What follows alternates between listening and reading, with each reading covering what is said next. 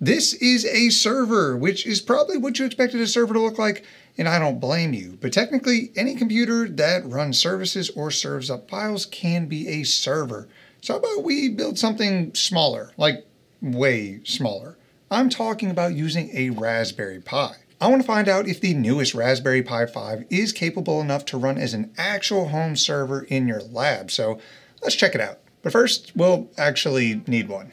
So yeah, servers. We know that when you think about servers, it's usually something like this, right? Micro Center does have servers. And technically, I've gone on record as saying a server can be anything. It doesn't have to be a specific server and workstations server, computer.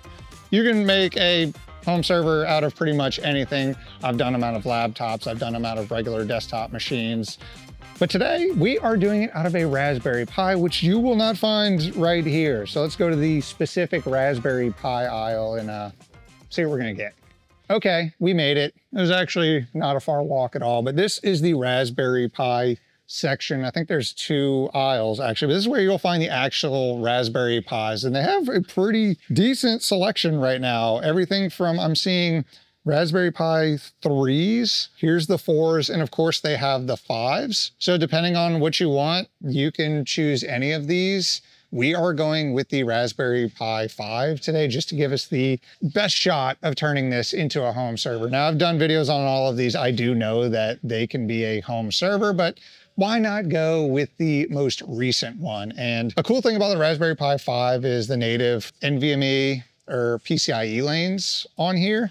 Uh, which opens up some pretty cool options. Now you do get a bunch of different hats, or I guess you can call them accessories, but they're called hats because they actually go directly on top of the Raspberry Pi. Uh, the two most popular, I'd say, they have the PoE hat, which lets you power the Raspberry Pi 5 using PoE. And then they also have the M.2 hat, which lets you easily plug in an M.2 NVMe drive, which is the one we are going with today. But there are a lot of cool options here. And at the end of the day, a Raspberry Pi 5 is essentially a developer board, but we're gonna use it to make a server. A couple of cool things, or one that I noticed that was cool is that they have the a PCIe slot for Raspberry Pi 5. So what this is, is essentially turns that little uh, PCIe, it's a ribbon cable on there, but that turns it into an actual 1X slot. But I went with a Pi 5 and the SSD kit, which essentially is the hat that allows me to connect an NVMe drive. And it does come with a 512 gigabyte NVMe drive. Both those together, let's look at the receipt. 150 bucks for both of these. Not bad. If you have an idea of a project in mind, you can probably just come here and get all the sensors and everything you need to do that. It's pretty cool. So they have some basic kits here if you want to start tinkering. Actually, have, this looks pretty cool. The Inland Smart Home Kit for Arduino. It's Arduino, but I'm sure you could use it for Raspberry Pi as well. We pretty much have what we need to make a home server here. But the thing we are missing is a case. Now I could just buy a case and hope it fits fine with the hat and everything, but I've been getting into 3D design and 3D printing. So how about we uh, we make our own and they actually have quite a lot of filament over there. So I'm gonna go over there and pick the most outrageous PLA I can find in terms of color and we're gonna make a case out of that. So how about we go see what they have? There's a lot of PLA here. I'm a 3D printing noob. So let's see, ABS, this is PETG, matte PLA. I think it was something like sparkly, right? Like I'm trying to find the most ridiculous PLA. Regular PLA again, what's over here? PLA plus. I guess at the end of the day, it probably doesn't matter. I just want the most ridiculous color yellow, probably like hot pink has got to be light blue. I already have some of that. I want the hottest of pinks. I want the hottest pink. That sounds spicy. Maybe we do silk pink. Rainbow 2. Now that sounds more exotic than silk pink. I don't know, it says rainbow. So I got, oh, wait, what? This says rainbow 2. Are these just random color? Oh, oh. They change color. All right, we definitely gotta get this one. So if you look in here, I don't know if you can see it. It's different colors. It's like a uh, gradient. We're definitely getting this. Just double check, make sure there's nothing crazier like Rainbow 3. So I guess I should use this as an opportunity before we check out to mention like kind of the pros and cons of doing something like this because a lot of you are probably thinking, oh, Brett, you mentioned it's $150. I can get an old Dell Optiplex or something for 50 or, you know, go on Facebook Marketplace and drop $100 and get something more powerful. Yes, you can. I'm not arguing that. That's that's never been an, an argument that can be made. But the pros and cons of something like this, pros being if you go with a Raspberry Pi 5, the big one is size. I mean, look at this. This is going to be our server, and this is inside the boxes. It's going to be smaller. And the other thing is power efficiency. The amount of power this is going to use is going to be very much in the single digits. While if you go with something like an Optiplex or something like that, it's going to be bigger. It's going to use more power. The other thing, the, the drawback on these uh, a con is that it is an ARM-based system. You will find compatibility issues depending on what software you're trying to run.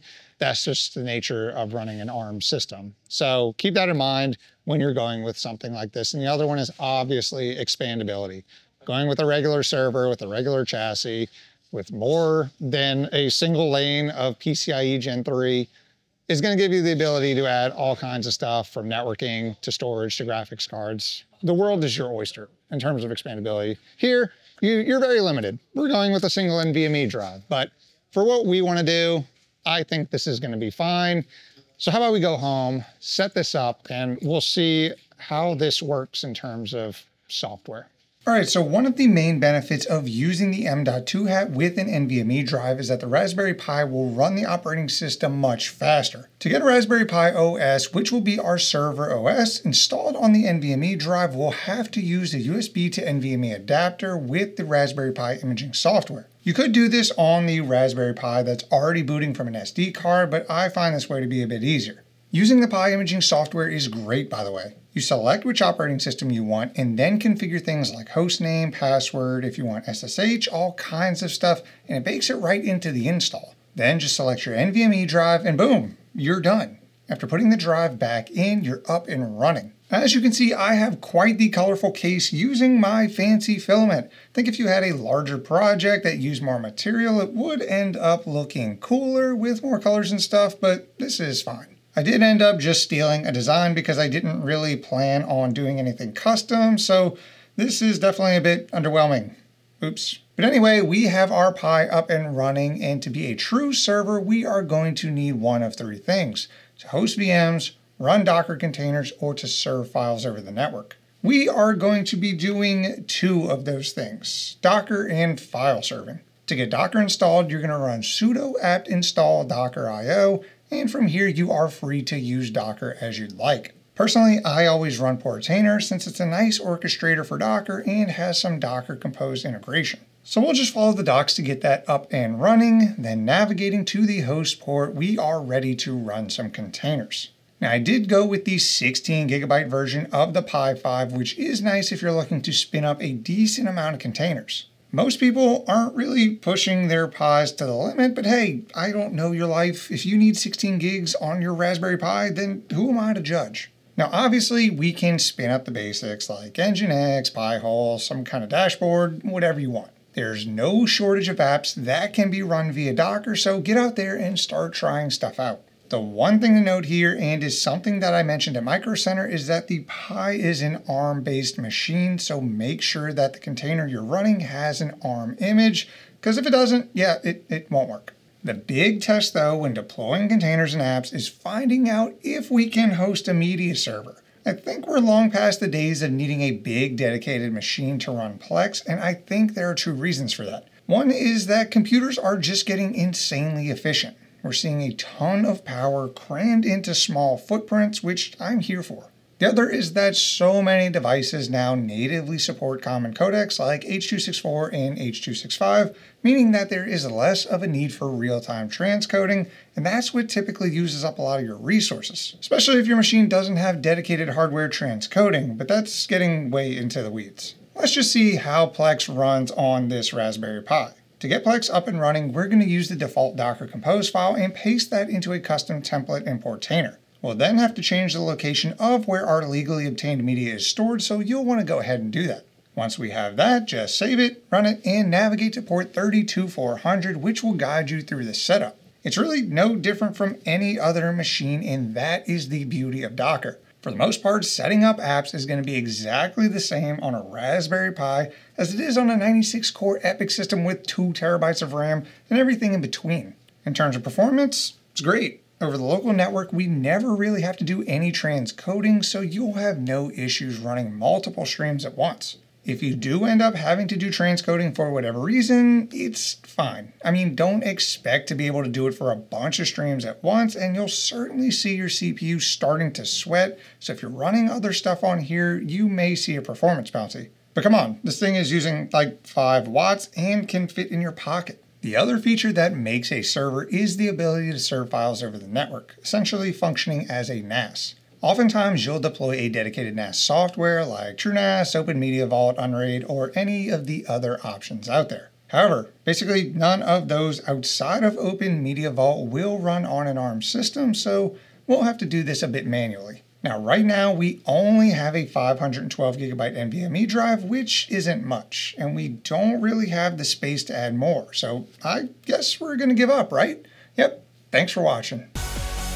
Now, we're going to utilize a DAS, or Direct Attached Storage. This is basically a secondary piece of hardware that contains one or more drives that attaches directly to the host machine, usually over USB for consumer devices. I've got this big old TerraMaster DAS over here that I've used in the past and it's been great.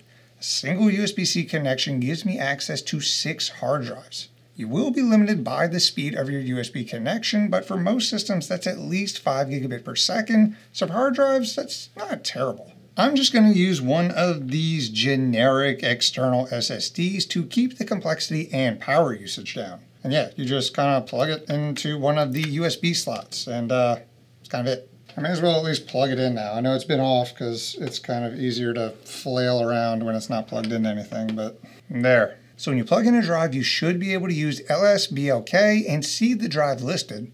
If there's no partition already, or if you've already deleted it, then we'll go ahead and make one using fdisk.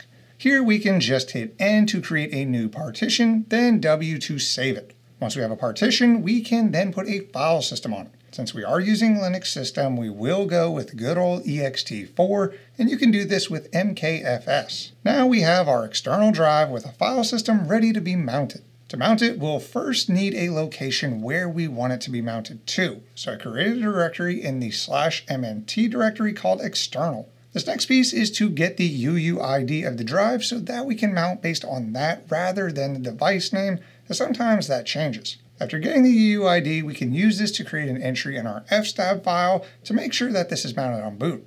And once that's done, we have our external drive mounted to the system and we can use it however we see fit. This would be a good location to store larger files, like if you're hosting a media server or maybe sharing files across the network. Speaking of sharing files over the network, we are going to set that up using Samba. So we'll go ahead and install that using apt, and just like before, we're going to create a directory for our share. Since this is on our external drive, we are going to create a share folder in the MNT external directory, which may be used as a dedicated share folder. To actually create the share, we're gonna edit the Samba configuration file, and at the very bottom, we're gonna go ahead and create a new entry.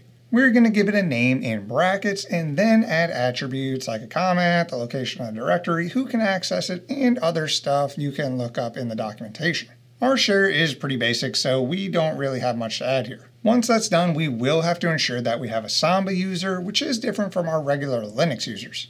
Luckily, that's easy to do as we can use the SMB passwd, which will set the password and create the user at the same time. Then we're good to go. Our share is accessible over the network using the IP address of the Pi and the name we gave to the share. We can access this from any machine, whether that's Windows, Linux, or Mac OS, and it'll function just like any other Samba share. Pretty neat. And there you have it, a Raspberry Pi 5 deployed as a capable home server. Is it perfect? Now, there are software incompatibilities, the expansion is limited, in general, it's just not super powerful. However, a lot of the times that doesn't matter. If you have a specific use case to run some containers, serve up some files, and want to do that with a device that takes up virtually no space and only sips a few watts, this is perfect. That's all I have for this one. If you liked it, then drop a like and subscribe if you want to see more Home Lab shenanigans. I want to give a huge shout out to my YouTube members and my Patreons. You guys are my Raspberry Pi server that runs all the containers and fits nice and cozy down in my pocket. Y'all are the best. And if you're still watching, you're an ESP32. Thank you so much, and I'll see you in the next one.